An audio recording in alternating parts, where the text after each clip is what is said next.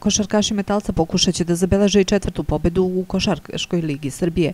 U šestom kolu koje se igra ovog vikenda na svom terenu dočekaće ekipu mladosti sa kojom imaju negativan skor u međusobnim susretima. Iako Metalac za sada ima jednu više prvenstvenu pobedu od mladosti, u Valjevskom timu su oprezni i kažu da će dati sve od sebe da osvoje nove bodove. Sutra nam prestoji nova utakmica sa ekipom mladosti Zemuna.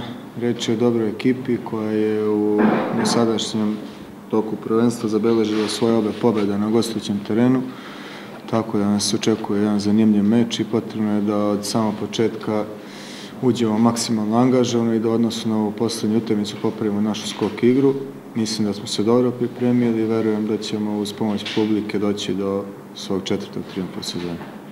Tvrda ekipa koja je dobila i napravila dva brejka na strani u Kragujevcu i u Novom Sadu, Igrala je u posljednjem kolu sa ABA 2 ligašem Dinamikom i tesno su izgubili.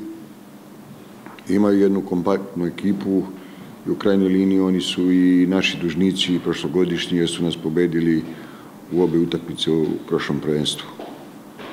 E, pred nama je jedan veoma važan meč iz razloga što ulazimo u jednu seriju utakmica e, subota sreda od već od utorka igramo u Vršcu posle dolazi radnički iz Kragujevca pa imamo dva gostovanja proti Dinamika u Beogradu i e, Vojvodinu u Novom Sadu. Veoma naporan raspored i naša krajnja angažovanost i motivisanost u sutrašnjoj utakmici i ako bude uspjeli da uzmemo ta dva boda da mirnije uđemo u ove utakmice koje nam predstoje.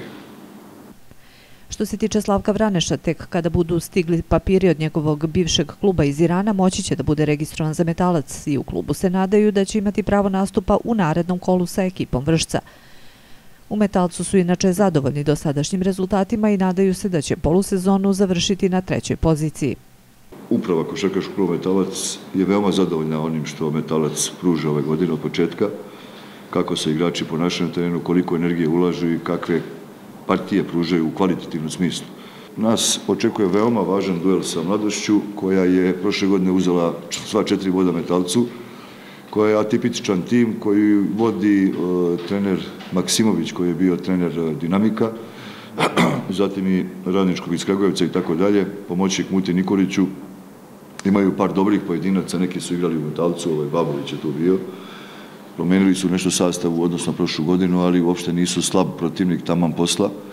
I uopšte ne sumnjam da će naši igrači dati sve o sebe zaista, da će to biti jedna fajterska borba, jedna borba prsa u prsa.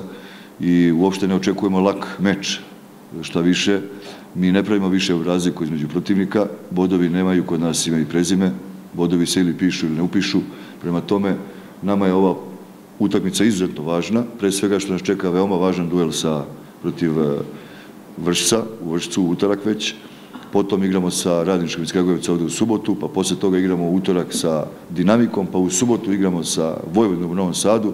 Prema tome, jedna serija veoma teških utakmica gdje će mi pokušati da izvučemo što veći broj bodova i da pokušamo da budemo treći na kraju ovog prvog dela, ako Bog da.